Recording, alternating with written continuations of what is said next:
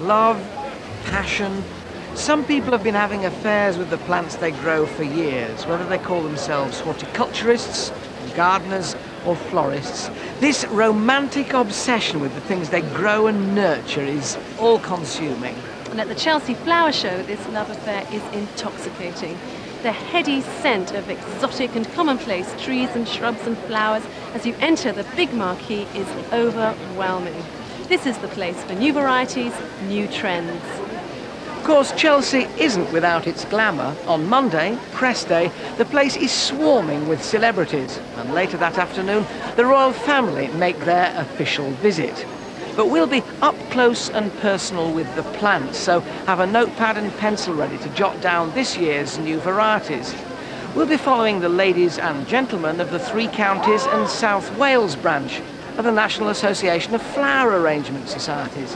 And Julia Mackenzie will be here, picking out the new plants she wants to grow in her Oxfordshire garden.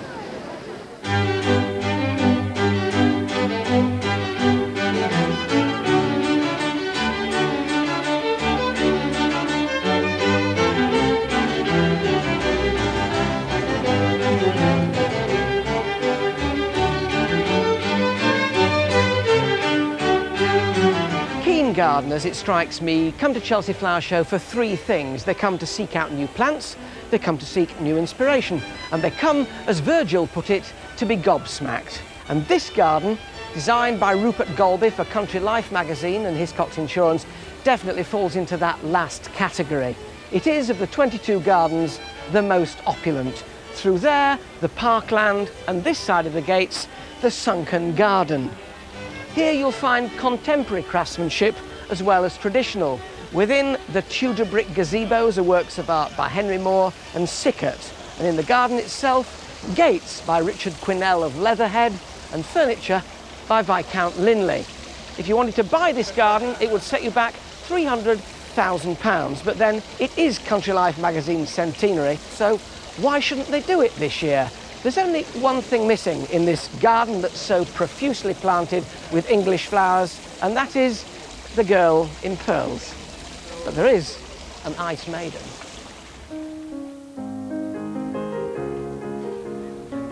But this is the kind of country life that's familiar to more of us. The rusting plough, the broken down gate, and the old cattle shed. This is Roger Platt's spout garden.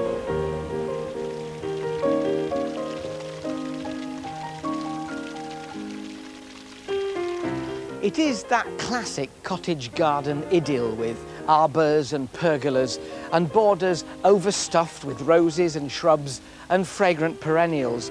But there is one difference between this and all the other gardens here, and that is that Roger grew all the plants himself. It's called the spout garden, Roger. Presumably that's the inspiration, is it? It is, Alan, yes. it comes from my childhood when I, uh, my father used to collect water from the spouts the other side of the hill for his cows and for the well when it ran a bit dry. But there, really, the similarity ends. This is a bit of Chelsea magic now, isn't it, really? What about growing your own plants, though? Is it a bonus or is it a real pain? It, it's, it's both, but it's really a bonus. It's, it's very challenging. You don't know until you get here really what you're going to use. At least you can rely on the plants that you've got because you know what you've got and what you've grown. Do you get a chance to look around the other gardens here? I mean, I was across this morning at those 13 courtyard gardens, really tiny plots put together by horticultural societies across Britain and by colleges. They're brilliant. They are fantastic. And to see how much that they pack into such a small area, it's almost a, a fantasy world that one walks into. This one is a seaside jewel box. Sparsholt College of Horticulture in Hampshire have transformed their pocket hanky patch into a place of maritime memories. Sea lavender grows up between tortured chunks of driftwood, and all the plants have maritime associations. Spiral seashells push up among potted rosettes of sempervivums. Sea urchins stud the pebble-topped earth around sea pinks or thrift. Enjoyment isn't over until the fat lady jumps into the water. Somehow, I don't think she'll make it. And if you ever wondered why the hostas in your garden are always full of holes, Selsdon and District Horticultural Society have the answer. This is the guy responsible, the snail maker. But it wasn't snails that did for the hostas on this garden designed by Christine Pritchard for Wyevale Garden Centres. Nope, it was the early May frost. In spite of the fact that the plants were growing in a polythene tunnel, it blackened them to the ground. Not that you'd know from looking at it. The people of Gloucestershire pulled together. The mature trees, like this 60-year-old Japanese maple, came from Westonbirt Arboretum. And the stone to build the walls with this cock and hen top to stop the sheep from jumping over, that came from a Cotswold quarry. Well, it was meant to, but the quarry owner, Colin Lewis, said no, you don't want new stone, you want reclaimed stone. I'll take down my barn. So he did, and they built a gazebo. The trouble was, they ran out of stone, and he said, never mind, I'll take down the side of my house. The side of his house is now covered with polythene until the show ends. But you see, that's the thing about Chelsea. Everybody pulls together. Mind you, that doesn't make it any less nerve-wracking for the first timer. Xa Tollemache has never designed a Chelsea garden before, but this one that she's put together for the London Evening Standard shows no signs of the novice. The planting and the finish are as near to perfection as it's possible to achieve. From the wild and woolly area outside the kitchen of this London house, you pass through a wrought iron gate decorated with arum lilies, picked up by real arum lilies in the central bed of this formal garden. And over here, the pièce de résistance, a border planted up with old-fashioned shrub roses, pale blue irises, purple ornamental alliums, lavender and catmint. It's turned out as I wanted it to look. I'm really pleased and excited about it because um, it looks as, as what I dreamt about. So what did you dream about? I dreamt basically about a beautiful garden to be in, to live in. Um, a sort of classically simple garden with all my favourite plants. Did you have anybody in mind when you designed this garden? Yes, we did. We had a fictitious couple called Charles and Jocasta. And Charles is a successful city businessman, and he wants to bring home his clients and entertain them on the terrace, and he wants a fairly traditional garden. But he married quite a sort of arty girl, Jocasta, and she's the one who goes to all these art exhibitions and uh, brings home the terracotta, the wrought iron and the, and the sculptures to fit in with their garden. Most of the plants outside in the gardens at Chelsea probably once made their debut inside the marquee. It's now dawn on Tuesday morning and I've got the biggest marquee in the world exclusively to myself until they open the gates. For five days, this is home to nurseries, amateur societies, international exhibits, new companies, and old. Here,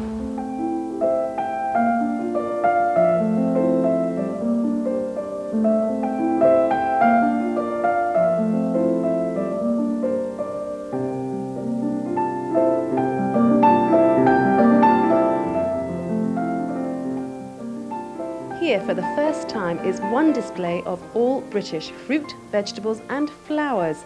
With clever design, they make a stunning combination. You've got quite a span of produce here. Yes, we've got growers from Penzance to Penrith who have supplied us. We've got gorgeous um, garlic from the Isle of Wight. We've got super roses from the Isle of Man. And we've got some lovely aubergines also from Humberside, which have been pollinated by bees. We think colours are, are, great sources, either contrasts or actual same colour schemes. So osteospermum with uh, cabbages. Also, we have aubergines right next to real shocking pink uh, impatiens or busy lizzies. It really makes an eye-catching design that leads you on to your next exhibit. Lilies and cucumbers, they're super together, aren't they? I know you think they are, but I think, I think cauliflowers and that are nicer with lilies.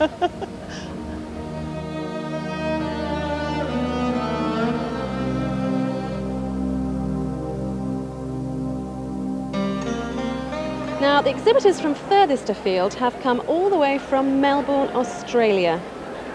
The City of Melbourne asked us to create Autumn in Melbourne. And what we've tried to do is pick up and give you an, and just a small synopsis of what Melbourne is like during autumn with the wonderful selection of Banksias, our wonderful fruits and vegetables, and last week they were growing in the wild. They have a system in Australia where some people have the rights to uh, farm flowers from the wild. These plants really in the bush would grow in the well-drained sandy sort of soils and uh, as you would understand, a bush is not like a forest, tree upon tree upon tree of them. It's um, maybe a, a, clump of trees of Banksias and then you might walk 50 metres to another clump of trees. So they're not condensed area, it's quite a wide and spreading area so that you get a variety of trees growing in the one area. Well, that exclusivity didn't last long. The gates are open and it's everyone for themselves. Forcing my way through the crowds, I found some plant detectives from the Hardy Plant Society. I think detective is rather a good word. They're, they're scouring the hedgerows, uh, neighbours' gardens, friends' gardens, I think, as well. And they will spot something. It's amazing what does turn up that they track down. We want to encourage people to grow as wide a range of, of hardy perennials as we possibly can not always ones that are easily available perhaps in, in nurseries, but ones that need to be carefully tended in gardens. There are a lot of good plants that were known in the past and for one reason or another they needed perhaps a little bit more care and attention. They might have faded out and we're very keen to find those and to keep them going. But we're also keen to get new plants and I think perhaps that's something as amateurs that we can offer. So what's attracting attention on your stand this year? Uh, we've had great fun with the Euphorbia rigida, this lovely uh, hardy Euphorbia from the Mediterranean with a very good colour form. And uh, there's a lovely white Incarvillea, which uh, again is standing out, particularly in the rather sort of soft light here. There's something that's uh, causing a lot of comment. Chelsea, like any social event, has two sides. The media chaos contrasts with the peaceful perfection of the gardens, but one man with his eye fixed firmly on maintaining the Royal Horticultural Society's aims is Director General Gordon Rae. To do this, he goes back to the Society's historical roots. Tell me how the RHS started. Well, it all started, Liz, in, in March 1804 with a group of seven men who were real visionaries in the horticultural field the, the actual founder of the society was a man called John Wedgwood, who was the son of the potter, Josiah Wedgwood. And he linked with a man called Sir Joseph Banks, who was president of the Royal Society. And there was a botanist, uh, two uh, royal gardeners, and one or two other people. And they met in Hatchard's bookshop in Piccadilly, which still exists now. And it was at that meeting, the very first meeting, that they decided that they would institute a society for the improvement of horticulture. And that, nearly 200 years ago, was the founding meeting for what you see today. So were they all enthusiastic amateurs? Well, there were a lot of enthusiastic amateurs, but also these very wealthy people as well. But as the society started to develop and there was a real interest in plants, then during the 1820s, 1840s, the society actually paid for plant hunters to go out to different parts of the world there were two who were particularly famous. There was one called David Douglas who went out in the 1820s and he introduced probably 200, over 200 different species. And then later on there was another famous man called Robert Fortune and in 1843 he set off as well and he went to China and he spent 20 years collecting plants. Things like this, wisteria from the Far East. The azaleas over here is probably the great-granddaughter of one that he brought in originally. These were the people who in true Victorian fashion really brought home all of this great variety of plants, many of which you can see growing around you today.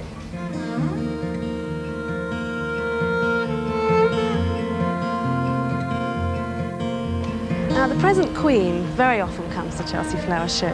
Is she the first royal to patronise the society? Not at all, no. The first royal to do it was, in fact, Queen Victoria. And her husband, Prince Albert, became president in the late 1850s, and he did a lot to turn the society round. And then in 1897, which was the 60th anniversary of Queen Victoria coming to the, to the throne, the society decided that it would like to honour her in some way. So they decided that they would have a medal, and they called it the Victoria Medal of Honour. And this is the highest award that the society gives. And it's given to people who have made an outstanding contribution to horticulture in this country. Later on, at the end of the reign, what they decided was that because she had reigned for 63 years, that we would in fact have 63 people holding the Victoria Medal on, honour at any one time. There are now only 61, but this year, two of them are actually here at the show. John Hillier and Charles Notcutt. And Charles Notcutt is celebrating at this show the 100th anniversary of the founding of Notcutt's Nurseries. Are they deadly rivals, these two? I imagine that when they're at the show like this, whilst all of this is going on next to each other, there is a certain amount of rivalry, but outside, they're very good friends. Have the royals always visited the show? Well, yes, we have been honoured by the royal visits for a long time. George V and Queen Mary came, and members of the royal family right up until the present day. And each year the Queen comes on Monday, and until a few years ago, Her Majesty Queen Elizabeth, the Queen Mother, came as well, because they're both still patrons of the Society.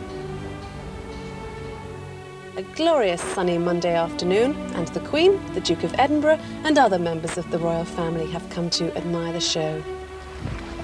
Now, there are at least two perfumes being launched at the show this year, and goodness knows what else. Isn't it getting rather commercial? Well, I'm not sure that it is, Liz.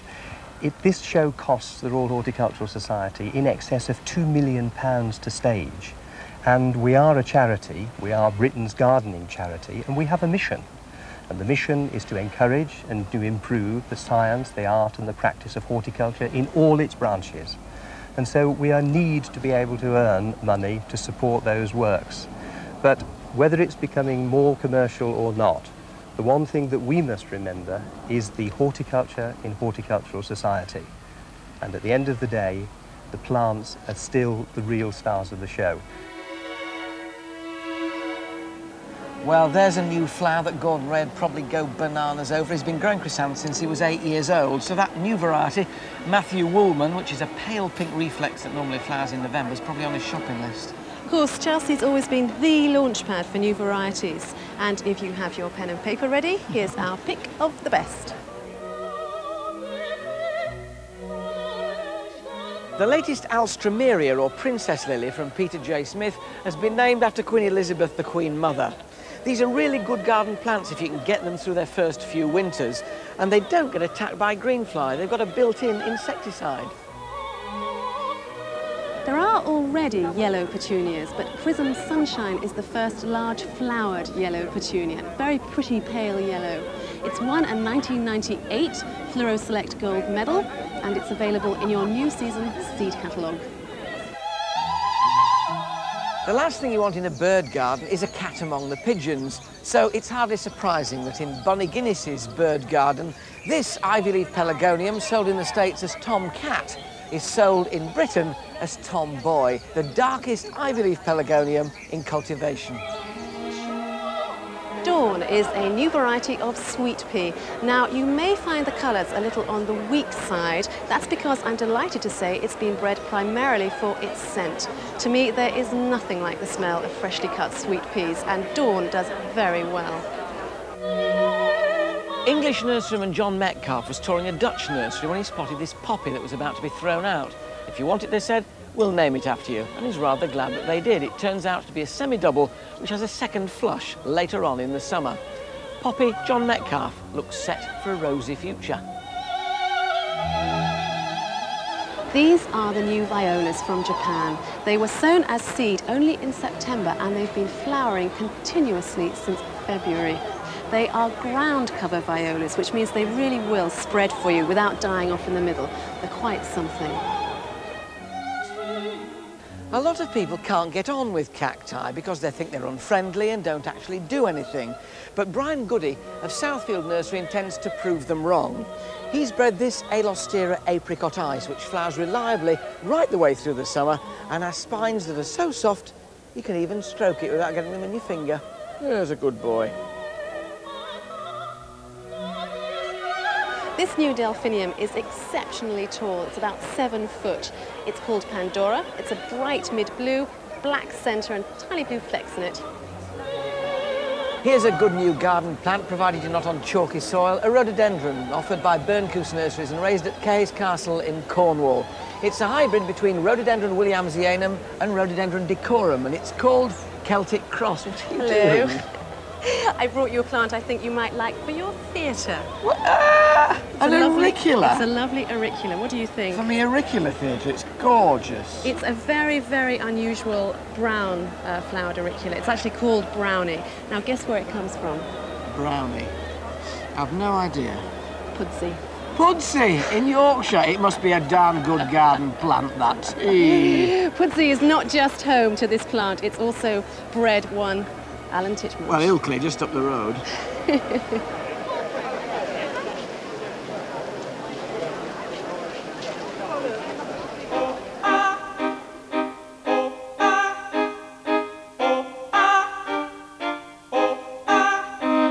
There are some designers who come back to Chelsea year after year, but it's fun to look for the new faces and to try to spot the up-and-coming talent. Stephen Woodham's design for Yardley has a glass circular structure at its heart and wide wooden decking, which adds to the airy feel. His theme is Baroque. Well, the planting really um, is the most wonderful example of um, garden history of the Baroque style, which is a very small part of garden history actually in Geneva. And I saw photographs of that, and it was a very structured garden. It was all about sort of um, textures and shapes, and also the spiral yew is a, is a very definite, strong Baroque style. Was it difficult to mix the formal topiary elements of the garden with the informal, flowing, flowery elements? Um, I guess actually when I was putting it together on the drawing board, it was extremely difficult because it was kind of like mixing something that was very strict and then the loose forms. Um, but again, that is typical Baroque style and sort of having shapes and spirals and squirrels is what it's all about.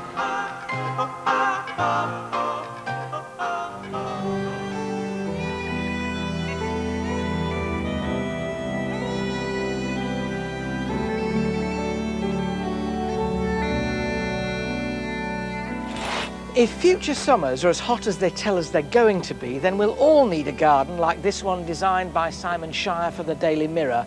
A sort of Cotswold cottage cross souk, and then out here a garden packed full of plants that love sun. But Simon, are they really drought tolerant? Totally. On our free draining soil, they would also survive the winter, which is very important. And with cordylines, you can lift the leaves up, and if you pack them with straw or bubble wrap, they will survive through the winter.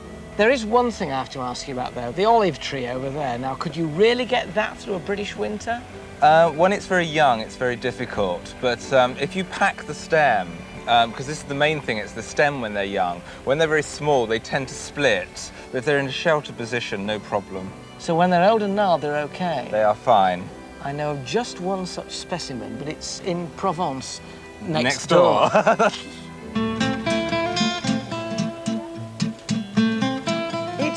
just over the wall, a garden in Provence has been created for British Sky Broadcasting by Fiona Lawrenson. Now, at 28, she might be the youngest garden designer here at Chelsea, but she's by no means unaccomplished. Last year, she won a gold medal for a New England cottage garden, and this year, we're in the south of France.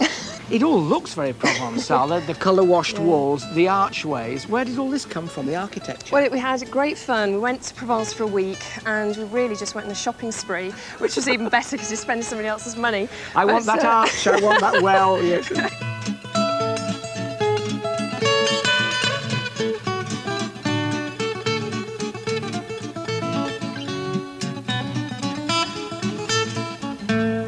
Now the garden is a rumbustious mixture of, of alliums and lavender and tobacco plants. Is that typically Provençal? It is. I mean, unlike uh, the British, the French aren't a nation of gardeners, but when the French go gardening, they do it with great style. And this is um, an example of some of the things we actually saw in Provence. What about the people who look at this and say, yes, but really, it's just a piece of Hollywood stage set? Well, there have been a few comments like that, but at the end of the day, people come to Chelsea Flower Show to see the best and to see a little a little piece of Provence or a little bit of Morocco or wherever in the, in the show. And I think this has really worked because you need the buildings, you need the setting, so that when you actually walk in here, you feel that you are in Provence. Well, you fooled me. I will do when I give you a glass of wine. Oh. Excuse us just a moment.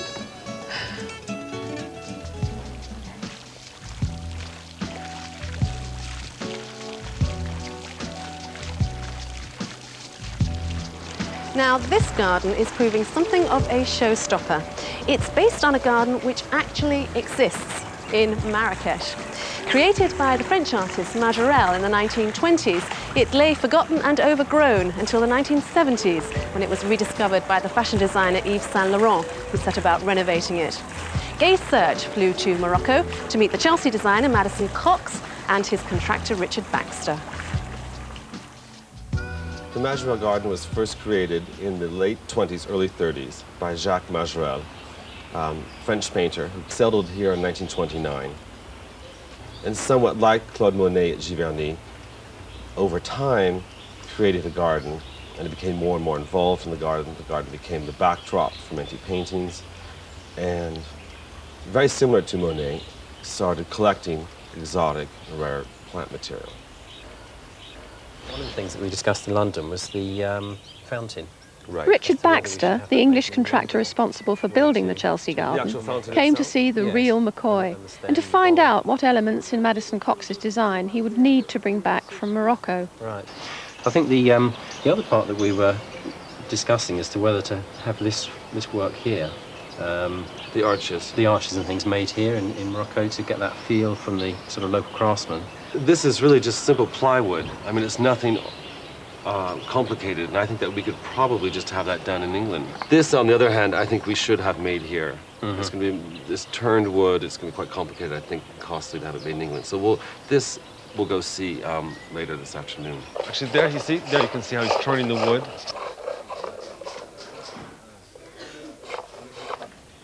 The tiles in the restored garden are handmade by local craftsmen, so that's what Madison wants for the Chelsea Garden. But you see, look at this man right here. How he's cutting out. You see how he's chiseling away to make Right. little small little squares. Yeah. And they're all individually cut by hand. It's a tradition that's you know passed down from family to family. Obviously, this is a very large garden, and the plot you have at Chelsea is very small. What would you say was the essence of this garden that you, you wanted to distill and actually present in the Chelsea garden? I think what I wanted to really try to capture was um, the magical qualities that I think that this garden has. Um, where there's a great constant play of light and shadow, um, plant forms contrasting against each other, but in very bold fashion. Um, obviously, we can't recreate the garden by any means, but to use certain um, elements of its vocabulary, this, the bright use of color, and the color doesn't really come from the plant material so much as it comes from the hardscape features, such as the walkways, um, the pots as you've seen, the pergolas, the structures. And that the plants are almost a backdrop, but a very interesting backdrop to all of this, this, this melding of various elements, I think. One of the, the striking features of the, the hard landscaping here is this blue, this The Majorelle Blue. It's become known as the Majorelle Blue, yes. Yeah. That was originally something that Jacques Ma- Majorelle uh, saw on his voyages um, into the mountainous regions of Morocco and, and all of North Africa. I believe it was u- a color used to ward off evil spirits. And so he saw this vivid blue that was used. So he, he, he incorporated that blue. He also incorporated that ochre color that you see um, from the mud walls of even the ramparts of the, of the city of Marrakesh. Now, around here somewhere, yeah, here he is. This is the man that sells the pigments. Yes. Just the powdered pigments. Right. And so we have, and the way they sell it here is this, you choose the ribbon color, and then that's, so we're going to ask him for a blue. Bonjour. Alors, je peux voir. I really love that window. Isn't it wonderful? We were going to, thinking of having one made, but I think it's going to be easier to find an old antique window. The bright yellow against the Majorelle blue. The is Majorelle blue. Stunning, isn't, it? Yeah, Yeah. it really pops, yeah. Yeah. And then this is the square pool, which we will also be doing at Chelsea with the fountain. And um, the idea of the square within a square, again, is, is um, very Islamic and one that I, I'm very keen on, the idea of all that geometry within the garden. And so it's what fascinates me. So all you have to do now is just translate it to Chelsea. It, with a lot of work and sweat, yes. yeah. But can you really transfer a two acre garden in North Africa to this tiny site at Chelsea? What I tried to do here was to make a garden that was uh, had the spirit of the Majorelle Garden in Morocco and not just a recreation of it, to take certain themes from that garden and bring them to Chelsea.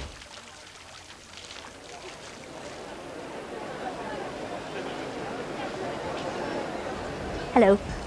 Well, it's always such a privilege and pleasure to come to this Royal Flower Show every year, but this year particularly so because I've acquired a new garden and I can't wait to get started on searching for new plants. So, um, shall we go this way first?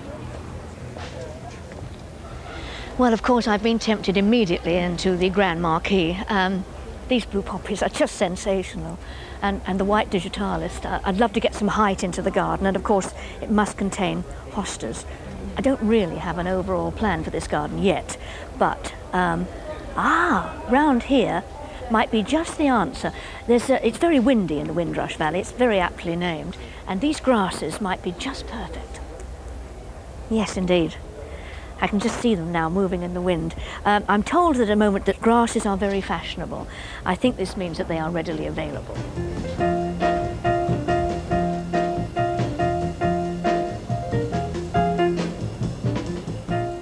I don't normally go for very strong colours in the garden, but this stand could change my life. I mean, just look at them.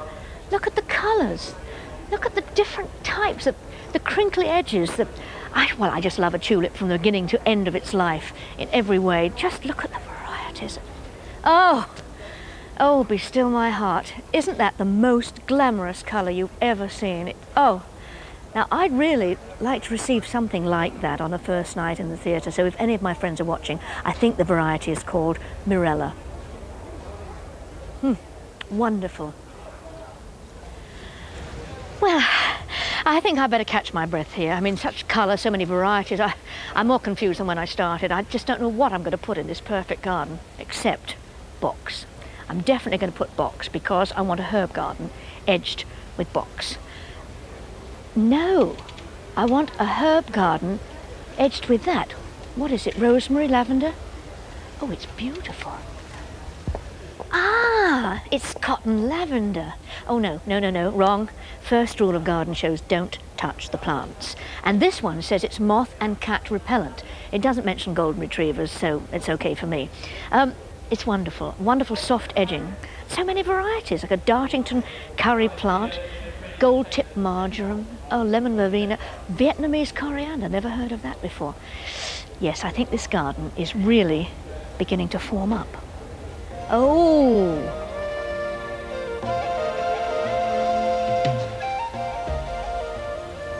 I've always had a great love of plants, but I suppose as I'm getting older, it's quite natural that it's becoming an absolute passion now.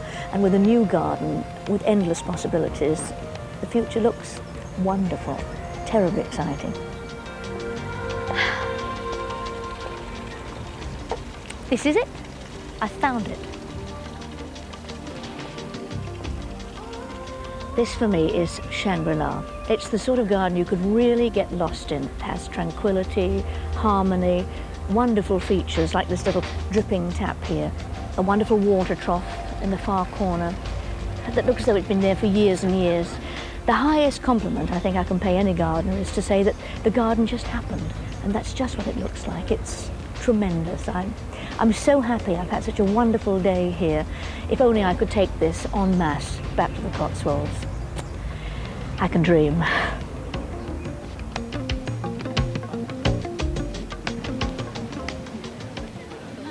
Of course, it's all the fault of Constance Spry. It was she who caused a sensation and started a new fashion craze for floral arrangement at Chelsea Flower Show back in 1937. Now, there are queues outside the floral marquee, but the big deal is to be chosen to represent the National Association of Flower Arrangement Societies in the big marquee. I wouldn't say they were a competitive bunch, but they only get one chance every 21 years, so the heat is on and the oasis is out. This year, the men and women of the three counties and South Wales region have masterminded their showstopper at the foot of the Malvern Hills in Corse, Gloucestershire. It's the Thursday before the show, and they're packing up everything except the kitchen sink for their towering creation. These are super, Nectaroscordum siculum. But the question is, will they be out by Sunday? I think I should just get a few of these Siberian iris for our bog garden section. Look at those, they're just gorgeous. It's Saturday now, and there are 11 of them on the stand. Bob's sorting out his bog garden. Jean is trying to get her head round the Latin names because she's got to make out the plant list. Nan is responsible for the terrace and the steps. And June, well, she's just sort of whipping them all into shape from a kneeling position. How do you decide, out of all your members, who you're going to bring? Well, I have to have a proven record. Sounds like criminal. Demonstrators, successful competitors, ah, good work in church festivals. But you can only pick 11 of them. Well, how do you pick 11 out of 5,000? You pick them on Thursday. Yes. They've got to last until next Friday. Yes, so that's over yes. a week. Yes, when, when, you, when you're picking them, you, you look. First of all, we want a bit of colour, so we want to make sure we've got some colour for Monday when we're getting the judging. But of course, we, d- we are aware it's on. But unfortunately, these with the digitalis do keep going on up, and it's we just want to see something with a hint of a colour, and we're we're on the way. This is Pat. They all said you must go and see Pat because she's got this wonderful garden. And a lot of the stuff's come from your garden. A lot of it, yes. How did you decide which ones to choose and cut for this show? You've got to have a variety so that we can use them at the stand there. Wulfenii, that one there. And to- the different greens go all together. I have to tell you that you're probably likely to be disqualified if you use these plants. Yes. Because there's a rule at Chelsea which says no livestock and there's a snail on there. There are 21 areas now, including Northern Ireland, who joined NAFAS just recently. And so we basically take it in turns. So we're not likely to get a, a chance to do this for another 20 years. We've got something. Oh, we've got a oh, card goodness anyway. for that. Silver. Silver. Oh. Do you know my heart's pounding? There are some exhibits in the marquee that make me feel like a small boy in a sweet shop, and this is one of them. Reginald Kaye from Silverdale in Lancashire have long been famed for growing hardy ferns. Now they've cast their net wider to include more shade-loving plants like these Himalayan poppies. To grow these well, you need shelter and shade and a soil so rich in leaf mould, well-rotted garden compost, cow manure and horse manure that it never dries out. It should almost be like fruitcake, good enough to eat. And then you can grow these beauties well. If you hate botanical Latin, I'm sorry, stand by for a blast. Here you'll find Meconopsis betonicifolia, fairly easy to grow from seed. The even deeper, larger flowers of Meconopsis sheldonii, burgundy in the bud, Asia in the bloom, and benefiting from dividing about once every three years. There's the harebell poppy, Meconopsis quintuplinervia, with nodding blooms of lavender blue. But the star of the show is this beauty from China, Meconopsis punicea, crumpled buds that unfurl into these nodding, deep, dusky red flowers that make the hairs on the back of my neck stand on end. If you're looking for a pot plant for a warm, bright windowsill, then let me suggest the Cape Primrose or Streptocarpus. Just shade them from really scorching sun and they'll flower between April and November. And they're easy to propagate from leaf cuttings. The newest variety making its debut at Chelsea is Rhiannon, slightly fragrant, and Rex Dibley tells me he's trying to breed more fragrance into them, as well as the ability to flower right the way through the winter. Watch this space.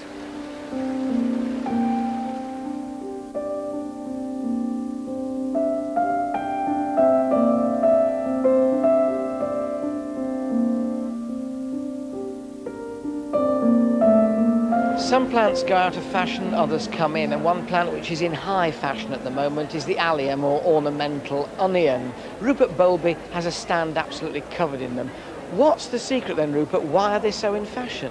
Well, they're such an easy bulb, and people didn't realise before there were eight or nine available. Until they saw more at Chelsea, they thought that was all there was. We showed more and more every year, and I've shown up to 100 different varieties of one Chelsea. And people realize there's a wide range of different shaped flowers, different colored flowers, and all you have to do is dig a hole in the ground, drop them in, cover them up, and they do the rest. Are people put off by the smell? No. Can you smell anything? Not from here. No, well, there's only about six or seven hundred within a few feet of you. If you walk on them, yes, then you'll have problems because um, you crush the leaves. But few, what gardener walks all over the leaves of his plants? There is one aspect of fruit and vegetable growing that is more controversial than any other, and that is flavour. Nowhere more so than with strawberries. The variety that's offered most frequently in shops and supermarkets is this one, Elsanta. But it's now being challenged by two newer varieties, Symphony and Eros, both of which have greater disease resistance. But for the home grower, where flavour is the most important thing, I reckon this one is hard to beat. Cambridge Late Pine. It may be 50 years old, but when it comes to flavour, it's yummy.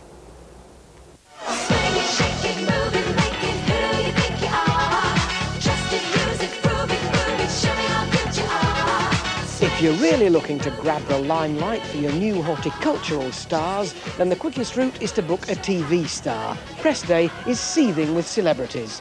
This is uh, the Lesley Joseph Rose, which has been named after me, which is I'm getting really silly about it actually. I just think it's such an honour and I love it. It's been 10 years in development and Sense, which is the Rubella Association, which benefits the deaf and the blind, are benefiting to the tune of a pound for every rosebush sold. It's very unusual, I think, to have something like this in a major city every every single year. It's the fact that it is every year that people know that that's going to happen. The summer's coming.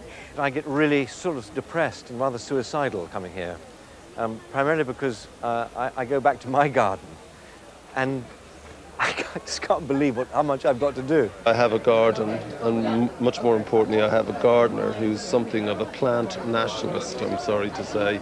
So the odd suggestion that a rhododendron or two might not be out of place is met with a terse no. Do you get your hands dirty? Absolutely. Yours is it's hard no as fun mine. if you don't get your hands dirty. Why do you have calluses? I do, because I garden, you see. Why do you have calluses, she said. I don't I use do- your cosmetics. I that's do, why. no, but I do with gloves. Do you like fast growers?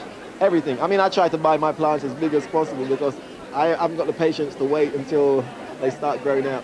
No, because the garden at number 10, I remember you saying to me, don't look through that window, it's not terribly good. Oh, we've got a fabulous garden in Huntingdon. In Huntingdon.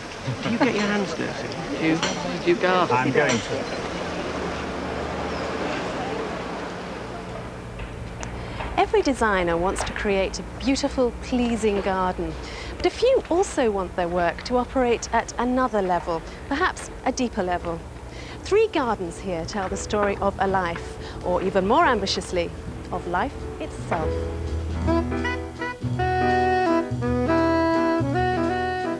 Paul Cooper has in previous years been one of Chelsea's most adventurous and controversial names. This time, for sponsors Ford, he's produced an autobiographical garden. Dad's vegetable garden, that boyhood den, the first girlfriend, football. They all play their role in this cartoon of a garden. Paul Cooper's trip down memory lane. By involving your own lifestyle and bring your own personality, you can create a garden which is truly yours. Too often, and often you see this at Chelsea as well, dare I say, you have what I call kind of fictitious nostalgia. It's as fake as a the ploughman's lunch, you know, it never really existed. It's dreamlike. This isn't dreamlike, this is real memories. And I think anybody could create a garden like this in their own garden by just drawing on inspiration from their own life. Walk through the Age Concern Garden and designer Christopher Pickard aims to walk you through life itself in four stages, from birth to death. From birth and childhood, you meander to the age of responsibility. A job, a mortgage, a family. The path's rocky, it's uneven, and the landscape's stark. There's some delightful gentle planting in the third age, retirement, when you have time to explore life's maze. But look up and you glimpse yourself in death's mirror.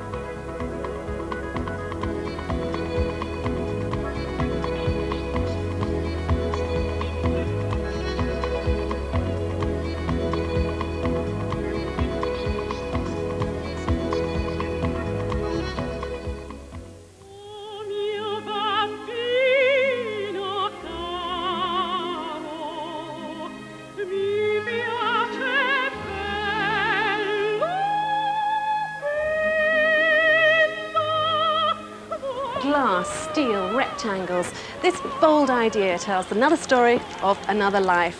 Christopher Bradley Hole has looked back to 2,000 years for his inspiration for the Daily Telegraph garden. The poet Virgil came from a humble rural background, made his fortune in Rome, and finally retired back to the countryside. You stroll through Virgil's childhood, a simple courtyard full of fragrant herbs and naturalistic meadow, to the river Tiber and Rome. Here's Virgil's retirement. It's densely planted in vibrant colours. It's a contemplative garden. I wanted to represent Rome in an abstract way, because I feel in a modern garden there's no point in reproducing what went on in the past, but I feel one should take one's inspiration from the past. I'm more interested in looking at plants which evoke the spirit of something rather than trying to um, necessarily reproduce um, what would grow well in Italy over in England.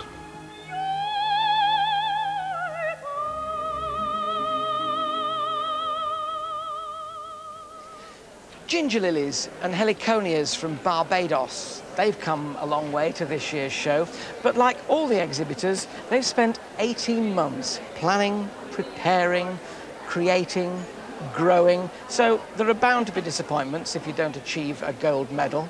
The judges' decisions are always controversial. I wouldn't be a judge for all the tea in China. But then, if you want to keep up the gold standard, you have to be hard with your judging. And it does mean that those who achieve a gold medal can feel justifiably elated.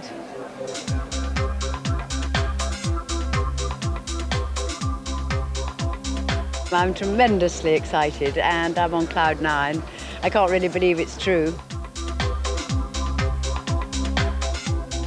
Well, I gather we've got Best in, uh, Garden in Show Award, and, and that's a wonderful, tremendous, uh, prestigious honour. I'm absolutely delighted. Wonderful. I couldn't express my feelings. We had 70 companies involved, so the phone's been going all day, and it's just been so lovely to tell them that all their efforts have been really worthwhile. The gold medal here really is a standard which, when the public look at the garden and say, I hope say, we like that garden. This is the sort of garden I would like to have in my own home. Um, they admire it, and then see we've got a gold medal. They can see at least they're admiring something which is of a high standard. Hope you've enjoyed the show as much as we have. If you want to come and look at it yourself, I'm sorry. All the tickets have gone for Thursday and Friday, but hope you've enjoyed this one. And as we always say here, see you next year. Bye-bye.